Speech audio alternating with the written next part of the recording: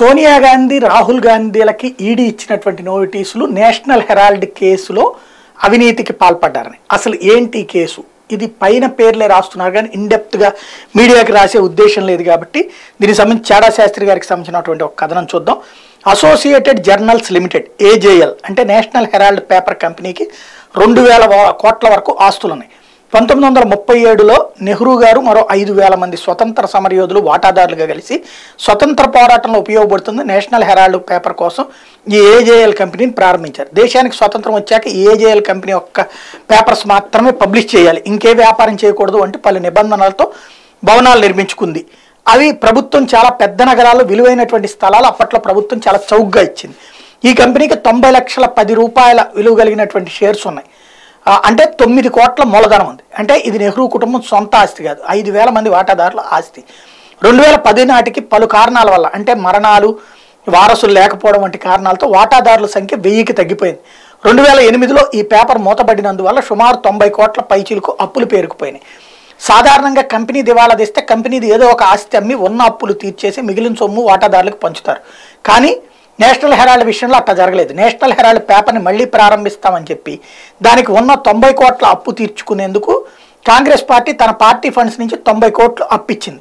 National Herald AJL కంపెనీకి వడ్డీ లేకుండా ఇన్కమ్ ట్యాక్స్ రూల్స్ ప్రకారం రాజకీయ పార్టీ నిధులు ఇటువంటి వాటికి వెచ్చించకూడదు. అయితే రెండు వేల పదిలో యంగ్ ఇండియన్ కంపెనీ అని ఒక కొత్త కంపెనీ ఐదు లక్షల మూలధనంతో ప్రారంభమైంది. ఇందులో ముప్పై ఎనిమిది శాతం సోనియా ముప్పై ఎనిమిది శాతం రాహుల్ మిగతా ఇరవై నాలుగు శాతం ఆస్కార్ ఫెర్నాండెజ్ మోతీలాల్ వోరా కాంగ్రెస్ పార్టీ ట్రెజరర్ వాటాదారులుగా ప్రారంభించారు. ఈ కొత్త కంపెనీ ఆర్టికల్స్లో పేపర్ పబ్లిషింగ్ బిజినెస్ అని ఎక్కడా రాయలేదు. ఇక అసలు కాదేంటంటే కాంగ్రెస్ పార్టీ తనకి నేషనల్ హెరాల్డ్ నుండి రావాల్సిన తొంభై కోట్ల అప్పుని ఈ కొత్త కంపెనీ యంగ్ ఇండియా కంపెనీకి అస్సైన్ అంటే బదిలీ చేసేసింది. అంటే నేషనల్ హెరాల్డ్ కంపెనీ ఇప్పుడు యంగ్ ఇండియా కంపెనీకి తొంభై కోట్ల అప్పు చెల్లించాలి. కానీ నేషనల్ హెరాల్డ్ అప్పు తీర్చే స్థితిలో లేదు.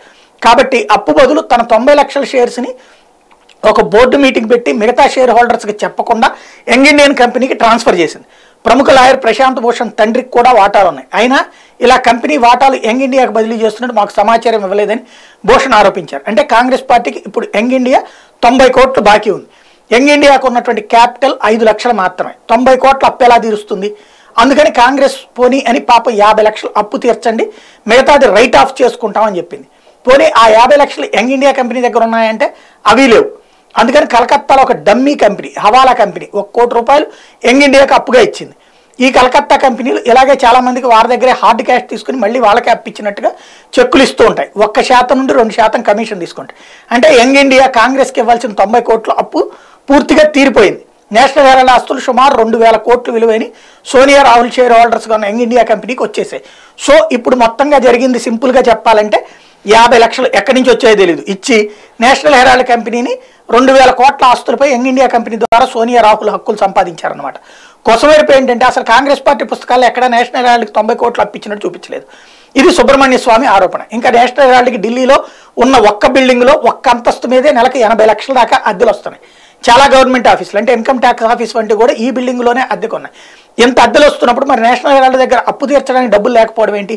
దీని మీద సుబ్రహ్మణ్య స్వామి కోర్టులో కేసు వేస్తే అరెస్ట్ నుండి తప్పించుకునేందుకు రెండు వేల పదిహేనులో సోనియా రాహుల్ బెయిల్ సంపాదించారు. ప్రస్తుతం ఇద్దరు రెండు వేల పదిహేను నుండి బెయిల్ మీదే ఉన్నారు.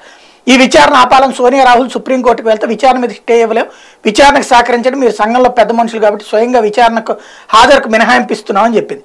ఇంకో విచిత్రం ఏంటంటే National Herald company head office Young India head office రెండు నేషనల్ హెరాల్డ్ బిల్డింగ్లోనే ఉన్నాయి. ఇక అసలు మౌలిక ప్రశ్నలు నెలకు ఎనభై లక్షలకు పైగా ఆదాయం వస్తున్నప్పుడు తొంభై కోట్లు బాకీ నేషనల్ హెరాల్డ్ కంపెనీని తీర్చుకోవచ్చు కదా.